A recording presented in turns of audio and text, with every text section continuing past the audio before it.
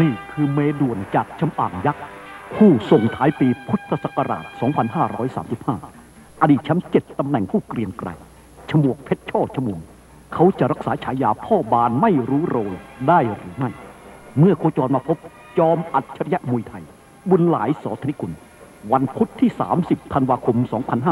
2535นำเสนอโดย มวยไทยสถานโลกททบ5ฝากมาเพื่อพี่น้องไทยทั้งประเทศ ครับเป็นการ พบกันระหว่างยอดมวยจากฝั่งราชดำเนินนะครับ พบกับยอดมวยจากเวทีลุมพินีนะครับฝ่ายแดงคือฉมวกเพชรช่อชมวงแชมป์เปี้ยนเจ็ดตำแหน่งนะครับ ชื่อจริงว่าวิเชียนบุตรดี ส่วนฝ่ายน้ำเงินบุญหลายสอธนิกุลครับ ชื่อจริงว่าชัยชาญรามอ้น แชมป์สองตำแหน่งยอดมวยจากฝั่งลุมพินีครับ กรรมการผู้ห้ามบนเวทีคืออาจารย์ทรงศักดิ์เจริญพงศ์นักมวยทั้งคู่นี้จะเห็นได้อย่างชัดเจนเลยนะครับ ฉมวกเพชรช่อชมวงหรือสอสิรินันหรือ5พลังเดิม เป็นยอดมวยหลายพอสอเต็มทีนะฮะอยู่กับผมตั้งแต่เมื่อ 8 ปีที่แล้วเนี่ยสมัยเด็กๆก็เป็นยอดมวยมาแล้วตั้งแต่23 กิโล จนมาถึง 100 ปอนด์เป็นแชมเปี้ยน 105 ปอนด์108 ปอนด์112 ปอนด์เกือบจะทุกเวทที่เป็น แล้วก็ปีพุทธศักราช 2527 ก็ข้ามไปฝั่งราชดำเนิน แล้วก็เป็นแชมป์เพิ่มเติมมาจนครบ 7ตำแหน่ง เป็นมวยซ้ายที่แฟนมวยทั้งประเทศยอมรับว่าเป็นอัจฉริยะมวยแล้วก็ยอดมวยจริง ๆ เพราะชกกับคู่ต่อสู้ไม่ค่อยจะได้เปรียบเท่าไหร่เป็นมวยถนัดซ้ายนะเป็น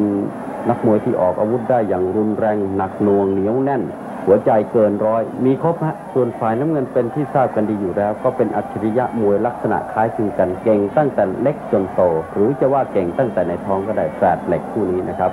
ครับเป็นอัจฉริยะมวยอีกรุ่นหนึ่งเหมือนกันนะฮะ เพราะว่าอยู่ทางลุมพินีเวทเดียวกันก็ไม่มีคู่ชกแล้ว วันนี้ข้ามถิ่นมาชกนะฮะ จะสังเกตได้เป็นมวยขวานะครับดูจังหวะฝีมือไม่มีการถอยนะฮะนักมวยทั้งคู่ ดูการต่อยระดับปรมาจารย์ คุณแชร์แม่นิวัฒน์เหล่าสุรวัตรก็อยู่ข้างเวทีนะเฮียเสยลีถาวรชัยนะฮะ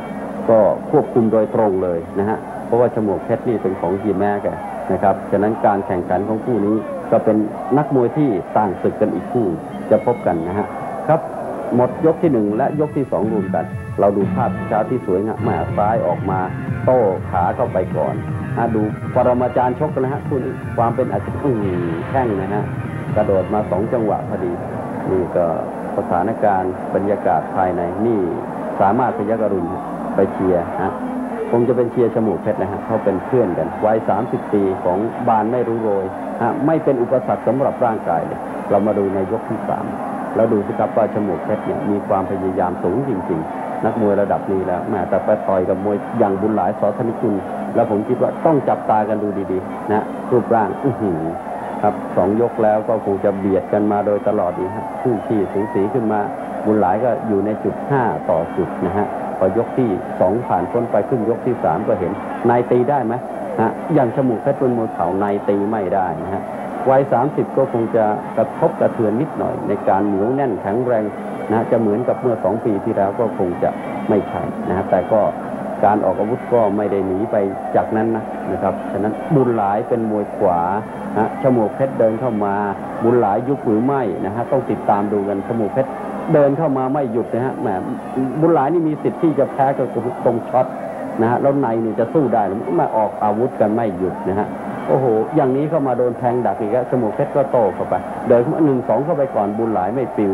ฮะชมูกเพชรเดินอีก อืมเข้ามารับแข้งขวาฮะแทงขวาตอบนะฮะเมื่อกี้ เป็นการออกอาวุธหลายรูปแบบนะฮะท่านสังเกตดูดีๆอือหือลูกนี้ จังหวะยกเตะฮะ ถูกดิสเบรกทีเดียวก็หงายตึงไปฮะเดินเข้ามาอีก เอารับแข้งขวา สังเกตนะฮะท่านผู้ชมที่ครพบุญหลายเตะขวาไปส่วนมากจะคาไว้นะฮะชมูกเพชรไม่จับแล้วเตะเข้าไปเน้นเข้าไปเลยนะฮะ แล้วก็จะรับทั้งแค่อื้อหือลูกนี้นะฮะซ้ายคืนไปขวาตรง คิดไม่ถึงนึกว่าจะโต้แข้งขวา หมดสามยกเป็นไงฮะสถานการณ์ก็กลับมาเป็นบุญหลาย ลูกนี้สวยงามที่จมูกเพชรถีบบุญหลายในขณะที่ยกกำลังจะเตะนี่คือการวางแข้งที่ที่เนียนนะฮะเนียนแล้วสวยงามรับเต็มเต็มแล้วคาด้วยอ่าจะแทงก็คาไว้ด้วยเนี่ยคือความเป็นอัจฉริยะของบุญหลายนี่ซ้ายตกนึกว่าคาด้วยแข้งขวาคืนหมัดขวาตรงเข้าไป ทำไงฮะยกสี่แล้วนี่ เหลืออย่างเดียวก็คือว่าบุญหลายยุบไหมอืดูความพยายามนะผมบอก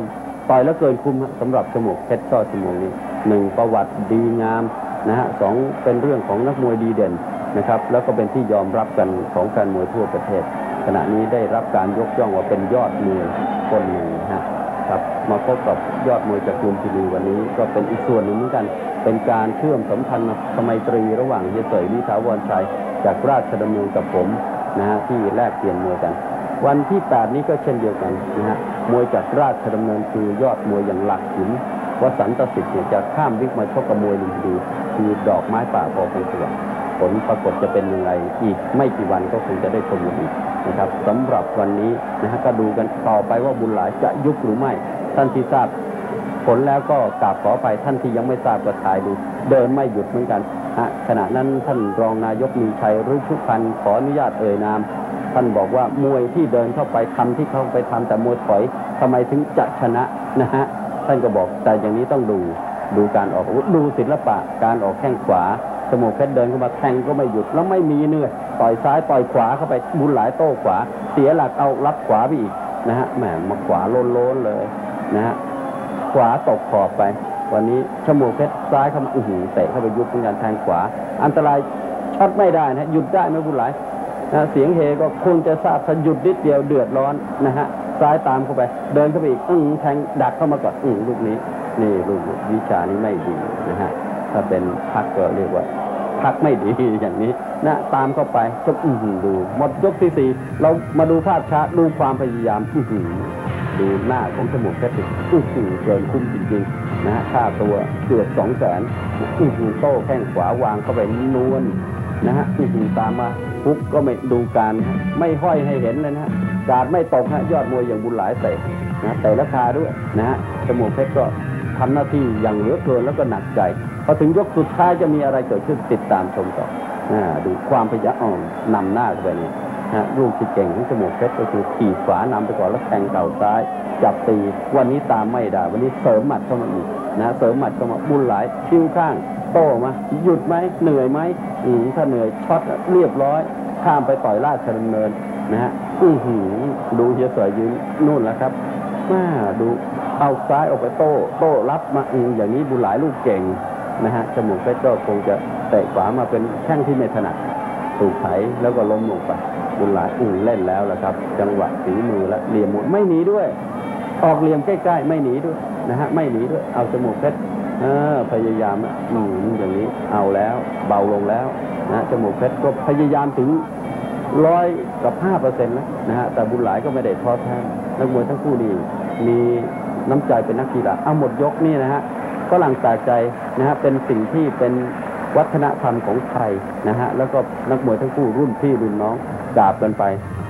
เรามาดูภาพช้ากันนะฮะหลังจากที่เห็นความประทับใจของนักมวยทั้งคู่ แล้วก็แสดงถึงน้ำใจการเป็นนักกีฬาของมวยระดับเงินหลายแสนอย่างนี้นะครับ